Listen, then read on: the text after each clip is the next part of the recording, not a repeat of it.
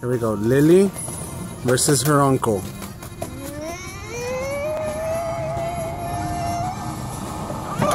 Ah, good job, baby. Hey, dab on him. Dab on him.